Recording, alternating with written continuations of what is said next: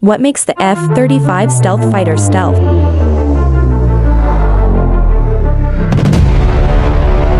The F-35 is the spine of the U.S. Air Force and must be ready to tackle any threat that comes it is the way. But how do its stealth capabilities work, and how good are they? The F-35 Lightning II is touted as one of the most undetectable aircraft to ever take to the skies. The effectiveness of the fifth-generation fighter jet largely hinges on its stealth capabilities.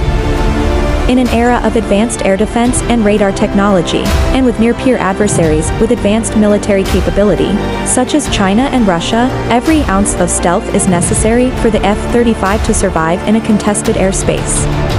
The U.S. Air Force paints its fifth-generation aircraft by hand to achieve that. Stealthing the F-35 one paintbrush at a time. At 51 feet long and 35 feet wide, the F-35 isn't a tiny aircraft, especially if you must hand paint it with radar-absorbent coating. Specially trained and qualified airmen spent hours and hours preparing the classified chemical mix and applying it correctly on the aircraft. Every F-35 Lightning II comes with a unique coat of paint. It is important to note that stealth doesn't mean being invisible. Instead, stealth makes it harder for enemy radar to see and track an aircraft the aircraft itself is still visible to the naked eye.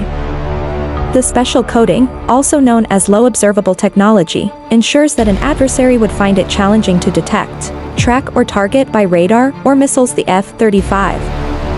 But besides pleasing the eye, the coating has to cover every surface, even in spots that don't see much sunlight, to ensure that equipment doesn't corrode, causing increased maintenance times or even an accident. F-35, the Air Force's future. The Air Force has based its entire near future on the F-35, so the aircraft has to perform at the expected level and deal with any known and even unknown threats. The Pentagon plans to purchase about 2,500 aircraft of all three variants.